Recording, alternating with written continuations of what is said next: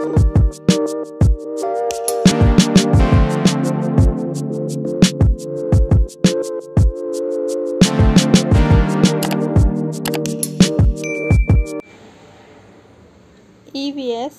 Class 5th Chapter number 5 Wonderful World of Bholu.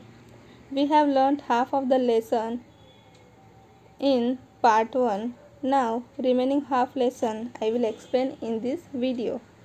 In the first part I have explained you about the story of Bholu that how Bholu met two different animals like fish, elephant, tortoise and pigeon, squirrel, etc. And we learned about the diversity in animals. Okay, now see here terrestrial animals. Animals which live on land are called terrestrial animals. जो animals land पर मतलब कि ज़मीन पर रहते हैं, उनको हम बोलते हैं terrestrial animals for example dog cow cat etcetera then aquatic animals animals which live in water are called aquatic animals. जो एनिमल्स पानी में रहते हैं, उनको हम एक्वेटिक एनिमल्स बोलते हैं. For example fish starfish water snake etcetera avian animals which fly in the sky are called avian animals जो एनिमल्स उड़ते हैं, उनको हम एवियन बोलते हैं. वी कॉल देम बर्ड्स उनको हम बर्ड्स भी बोलते हैं. For example parrot sparrow crow etcetera जो भी बर्ड्स है कि जो स्काई में उड़ते हैं, उनको हम एवियन बोल सकते हैं. Then amphibians animals which live on land as well as in water are called amphibians जो एनिमल्स लैंड के ऊपर और वाटर के अंदर दोनों जगह रह सकते हैं, पानी और ज़मीन दोनों जगह जो रहते हैं, उनको हम बोलते हैं एम्फीबियंस फॉर एग्ज़ाम्पल क्रोकोडाइल आपने देखा होगा कि क्रोकोडाइल ज़मीन पर भी रहता है और पानी के अंदर भी. देन टॉर्टोइज है, वो भी सेम पानी में भी रह सकता है और ज़मीन पर भी. तो ये जो है वो एग्जाम्पल्स है एम्फीबियंस के crocodile tortoise duck etcetera now see here fill in the colours आपको यहाँ पे जो एनिमल्स के पिक्चर्स दिए हैं, उनके नीचे छोटे छोटे एक बॉक्सेस दिए हुए हैं, उनमें कलर करना है। तो कलर कैसे करना है? जो टेरेस्ट्रियल एनिमल्स है, उनके नीचे आपको रेड कलर करना है, जो एक्वेटिक है, उनके नीचे ब्लू करना है एवियन है तो ग्रीन कलर एंड एम्फीबियन है then you have to fill yellow colour okay now see here first picture is dog so dog क्या है? टेरिस्ट्रियल एनिमल है. तो उसके नीचे कौन सा कलर आएगा? रेड तो हियर आप you have to fill red colour then this is bird so bird is avian so fill here green colour then fish is water animal so aquatic animal that's why fill here green color sorry blue color then this is goat goat is terrestrial animal that's why red then horse red to- tortoise yellow color donkey red color sparrow green color okay then pigeon so here uh, this is also avian that's why fill here green color frog amphibian yellow color cow terrestrial red color peacock, avian, green color, starfish, aquatic animal, blue color, water snake, amphibian, yellow color, crocodile, amphibian, yellow color and duck is also amphibian. That's why fill here yellow color. Come to the next page. Bolu said, Elephant Dada, now I have understood very well. Bholu बोल रहा है कि elephant को कि दादा अब मैं सब कुछ अच्छे से समझ गया हूँ elephant said dear son Bholu in many ways diversities can be seen among animals and plants कि जो भी एनिमल्स और प्लांट्स है, उनमें बहुत तरीके से हमें डाइवर्सिटी मतलब अलग अलग वो भिन्नता हमें देखने को मिलती है। बोलो सेड यस दादा how much variation is seen in the appearance habitat and in all तो भोलू बोला कि हाँ दादा, कितने सारी वेरिएशंस हमें देखने को मिलती है कि जो अपेयरेंस के हिसाब से होती है हैबिटेट और अलग अलग और भी बहुत सारे वेरिएशंस होते हैं। Elephant said not only with respect to the appearance and habitat but also with respect to the importance also there is diversity among us now see here one table is given name of the things useful in our daily life यहाँ पे कुछ names दिए हुए हैं कि जो आ, कुछ चीज़ें हैं कि जो हमारे डेली लाइफ में यूज़फुल है। Okay then from where from whom are these things obtain तो हमें ये जो थिंग्स है वो किससे मिलती है? प्लांट से या एनिमल से? अगर प्लांट से मिलते हैं तो उसके नीचे, उसके सामने हमें टिक करना है और अगर एनिमल्स से मिलते हैं तो एनिमल्स के सामने हमें टिक करना है। Okay now see first one chapati. Bread chapati या ब्रेड हमें किससे मिलता है? प्लांट से। तो हम उसके सामने टिक करेंगे। फ्रूट्स फ्रूट्स भी हमें किससे मिलते हैं? प्लांट से। वुडन टेबल मतलब लकड़े का टेबल तो वो भी हमें किससे मिलता है? प्लांट्स से. वुल वुल हमें मिलता है शिप से. और शिप क्या है? Animal that's why put it here उसके नीचे अब आपको कुछ नेम्स ऐड करने हैं. तो फ़र्स्ट में आप लिख सकते हो लेदर बेल्ट जो बेल्ट होता है लेदर का वो वो हमें किससे मिलता है? लेदर हमें मिलता है एनिमल से. Then next name you can write broom means झाड़ू। सो झाड़ू के जो हम बनाते हैं वो प्लांट के लीव्स से बनाते हैं तो हम यहाँ पर टिक करेंगे plant okay then next you can write leather shoes leather के शूज़ तो वो भी हमें मिलेंगे एनिमल से। देन कॉटन जिससे हम कपड़े हमारे बनाते हैं, वो हमें मिलता है प्लांट से। मिल्क। मिल्क हमें मिलता है एनिमल से। And eggs. एग्स भी हमें मिलते हैं एनिमल से। Okay. Now come to the next page. Discuss importance of plants and importance of animals. Okay, plants और एनिमल्स का क्या इम्पोर्टेंस है? तो first of all we will discuss about importance of plants तो ट्रीज गिव अस शेड हमें trees से क्या मिलता है? शेड मिलता है मीन्स छाव मिलती है। Then second important thing that trees are helpful in bringing rain वो बारिश लाने में हेल्प करते हैं। Trees keep our atmosphere clean and cool trees जो है हमारे एटमोसफियर को क्लीन और कूल cool, साफ़ रखते हैं और ठंडा रखते हैं। They stop soil erosion then they give us fresh air okay they give us wood for fuel and furniture trees से हमें वुड मिलता है मीन्स लकड़ा मिलता है कि जो हमें फ्यूल की तरह फर्नीचर में भी यूज़फुल है।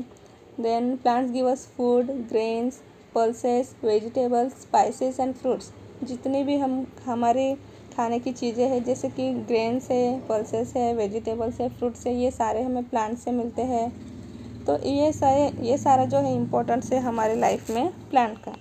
Now importance of animals animals का क्या इम्पोर्टेंट है? कि animals like buffalo cow they give us milk हमें जो मिल्क दूध मिलता है वो काऊ बफेलो जैसे एनिमल्स से मिलता है।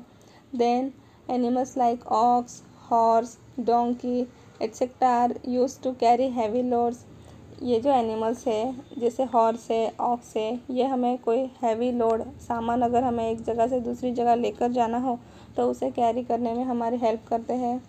Then animals like ox and buffalo are useful in agriculture हमें फ़ार्मिंग करने में हेल्पफुल होते हैं ox okay then dog looks after our house जो डॉग होता है वो हमारे घर की रख, रखवाली करता है। तो इस तरह से एनिमल्स भी हमें यूज़फुल है। तो ये हमारी लाइफ में प्लांट्स और एनिमल्स का इम्पोर्टेंस है। Now see here there were two friends they have decided to grow neem tree in the school दो फ्रेंड्स थे, उन्होंने डिसाइड किया कि हमारे स्कूल के स्कूल का जो कंपाउंड होता है, वहाँ पर हम नीम ट्री प्ला लगाएँगे। They brought and planted it वो एक नीम ट्री लेकर आए, छोटा, और वहाँ पर उन्होंने लगाया। One day they saw that a goat was going to eat it एक दिन उन्होंने देखा कि एक गॉड वो उस नीम ट्री के पौधे को खाने के लिए जा रही थे। Immediately both the friends made a fence around it तो तुरंत ही उन दोनों फ्रेंड्स ने वो जो नीम ट्री था, उसके आसपास फेंसिंग कर दी। कुछ जाली या कुछ उन्होंने लगा दिया कि जिससे कोई भी एनिमल उसे ना खाए। This is called protection of plant for the growth of a plant fertilizer watering pruning is done which is called breeding किसी भी प्लांट के ग्रोथ के लिए उसको फर्टिलाइज़र मतलब खाद दिया जाता है। वाटरिंग मीन्स उसको पानी दिया जाता है और प्लोविंग। अगर उसके आसपास कोई भी अननेसेसरी प्लांट्स अगर वहाँ पर उग जाते हैं तो उसे भी वहाँ से निकाल दिया जाता है। तो इस सारे प्रोसेस को बोलते हैं breeding. Elephant said, Bholu now, have you understood the meaning of conservation and breeding? अब एलिफेंट जो है, वो भोलू से बोल रहा है कि, भोलू, क्या अब तुम समझ गए कि कंजर्वेशन और ब्रीडिंग दोनों क्या होता है? Bholu said yes elephant dada now I have understood properly Bholu बोला कि हाँ अब मैं अच्छे से सब कुछ समझ गया हूँ। Elephant said now say what will you do for our conservation and breeding तो एलिफेंट अब बोल रहा है उसको भोलू को कि अब तुम बताओ कि हमारे कंजर्वेशन और ब्रीडिंग के लिए तुम क्या करोगे? Then Bholu said tell dada what should we do Bholu बोल रहा है कि, दादा, आप ही बताओ कि हमें क्या करना चाहिए? Elephant said discuss with your friends and make a note yourself elephant अब उस भोलू को बोल रहा है कि, ये सब तुम अपने फ्रेंड के साथ डिस्कस करो उसी के बारे में आप नोट बनाइए. Bholu said yes bye bye elephant dada. Bholu उसको हाँ बोला और वहाँ से एलिफेंट दादा को बाय बाय करके अब वहाँ से निकल गया। Now write here what will you do अगर आपको प्लांट्स को और एनिमल्स को कंजर्व करना है ब्रीडिंग करना है तो उसके लिए आप क्या करोगे? You have to think and write here so we can say here that plant trees near our home means हम हमारे घर के आसपास ट्रीज लगाएँगे, पेड़ लगाएँगे. Then second thing you can say erect fence supply water and manure. जो भी प्लांट्स हमने लगाए हैं, उनके आसपास हम फेंसिंग करेंगे, उसको प्रॉपर वाटर और मैन्यूर प्रॉपरली देंगे। देन ये हुआ हमारा प्लांट्स के बारे में। अब हम एनिमल्स के बारे में क्या लिख सकते हैं? Arrange drinking water for animals अगर हमारे आसपास, घर के आसपास हम एनिमल्स के लिए और बर्ड्स के लिए, पीने के लिए पानी रख सकते हैं। Then we will spread food grains and fodder for animals and birds जहाँ पर हमारे घर के आसपास एनिमल्स आते जाते हैं या बर्ड्स आते हैं, वहाँ पर हम कुछ फ़ूड ग्रेन स्प्रेड करके रख सकते हैं। एनिमल्स के लिए फॉडर हम रख सकते हैं। तो वो जब भी वहाँ पर आएँगे तो वो वहाँ से वो खा सकते हैं। तो इतना हम उनके लिए कर सकते हैं। Now come to the next page think and say first question which plants have you sown in the school आपने आपके स्कूल के आसपास कौन से प्लांट्स लगाए हैं? तो here you can say that we have planted saplings like basil tulsi then rose peach lily neem tree mango tree ashopalav tree etcetera second question is what is to be done to sow the sapling अगर आपको कोई sapling मतलब कोई भी plant को आपको लगाना है तो उसके लिए आप क्या कर सकते हो? मतलब क्या करना चाहिए? तो here you can say for sowing the saplings of trees and plants first of all we choose the appropriate place and then dig pits over there. तो सबसे पहले हम उसके लिए एक प्रॉपर प्लेस सिलेक्ट करते हैं और वहाँ पर एक पीट मतलब गड्ढा वहाँ पे हम खोदते हैं। उसके बाद if the saplings come in a plastic bag we will remove the plastic bag and then plant the sapling in the prepared pits अगर हमारे पास वो प्लांट का सैपलिंग किसी प्लास्टिक बैग में है तो फ़र्स्ट ऑफ़ ऑल हमें उसे रिमूव करना पड़ेगा उस बैग को निकाल देना है। उसके बाद जो हमने वहाँ पे पिट या गड्ढा वहाँ पे बनाया है उसके अंदर हमें उसे लगाना है। Then fill the pit with mud फिर उसके अंदर हमें आ, मिट्टी डाल देनी है। Then we will uh, water the plant regularly and also add manure at definite intervals. उसके बाद हमें उस प्लांट को रेगुलरली पानी देना है। उसे प्रॉपर पानी के साथ फर्टिलाइज़र भी हमें देना है। और मेन इम्पोर्टेंट थिंग कि हमें उसे फेंसिंग भी करना है कि जिससे कोई भी एनिमल्स दूसरे जो काऊ या गॉड जैसे एनिमल्स उसे ना खाए। Okay now third question which animals are kept in zoo zoo में कौन से एनिमल्स रखे जाते हैं? स्टूडेंट्स आप सभी ने एक जू तो देखा ही होगा। तो आपने वहाँ पे देखे होंगे कौन कौन से एनिमल्स होते हैं। So here we can say that tiger lion deer fox monkey then crocodile hippopotamus etcetera we see in the zoo ये सारे एनिमल्स हमने जू में देखे हैं और ये सब हमें जू में रखते हैं। Make the impression of a leave of a plant of your choice यहाँ पर आपको आपके पसंद के जो प्लांट्स हैं उनके लीव्स के इम्प्रेशंस बनाने हैं। तो यहाँ पर मैं आपको दिखा देती हूँ। फ़र्स्ट ऑफ़ ऑल मैं बनाने वाली हूँ यहाँ पर नीम लीफ मतलब जो नीम ट्री है उसका leaf okay and second one is peepal leaf, people का पत्ता। And third one is ashopalav leaf. इस तरह से आपको भी आपके टेक्स्ट बुक में जो आपके पसंद के जो भी प्लांट्स हैं, उनके पत्ते के इम्प्रेशंस आपको टेक्स्ट बुक में बनाने हैं।